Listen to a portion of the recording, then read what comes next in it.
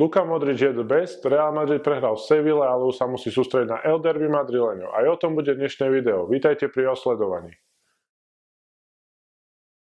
Luka Modrič triumfoval v ankete FIFA The Best s náskokom zhruba 10% pred Cristianom Ronaldom a korunoval tak svoj skvelý rok či už v Reále Madrid alebo v národnom týme. Najlepším brankárom sa stal Thibaut Courtois, do najlepšej jedenáctky sa dostali Sergio Ramos, Marcelo aj Rafael Varan.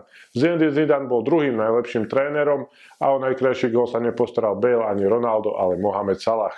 Predstavený bol návrh nového Santiago Bernabea, ktoré by malo stať 525 miliónov eur a malo by splňať tie najvyššie podmienky luxusu. Florentino Pérez oznámil, že výstavba bude trvať zhruba 3,5 roka.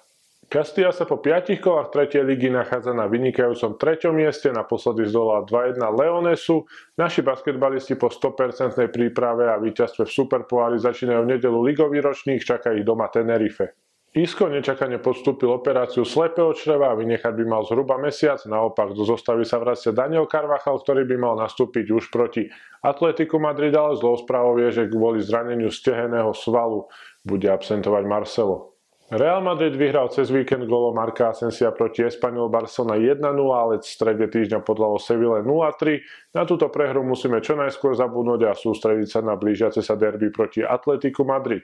Vôbec prvýkrát po 4 rokoch sa stalo, že my aj Barcelona sme prehrali v rovnaký deň a to znamená, že v tabulke ostávame na druhom mieste. V najbližšom zápase privítame v sobotu o 20.45 Atletico Madrid. S týmto superom sme sa už v tejto sezóne stretli, ale v Európskom superpoári sme prehrali 2-4 po predlžení. Reálne vyhral posledné 4 vzájomné zápasy, naposledy triumfoval minulý rok počas semifinále Ligy majstrov. Od roku 2003 do roku 2014 sme s Atletikom neprehrali ani raz, od tohto obdobia 6 krát, ale najpamätnejšie sú naše vzájomné finále Ligy majstrov. Zverenci Diega Simeoneho sa nachádzajú zatiaľ na treťom mieste so ziskom 11 bodov, keď trikrát vyhrali, dvakrát remizovali a raz prehrali proti Celte Vigo. Ligu majstrov otvorilo Atletico výhrou proti Monaku. Ofenzívne zbranie tohto týmu sú jasné, Antoine Griezmann aj Diego Costa sú nebezpeční v každej pozícii. Pozor si musíme dávať taktiež na štandardné situácie. Na zápase proti Atletiku Madrid bude aj 9 členov nášho fanklubu. Našej členke Majke sa dokonca podarila exkluzívna fotografia s Lukom Modričom. Ako poďakovanie za vašu priazeň sme si pre vás pripravili súťaž o suveníry nášho fanklubu. Stačí, ak po toto video napíšete komentár a typnete si výsledok zápasu z Atletico Madrid. Presné podmienky nájdete v popise pod videom.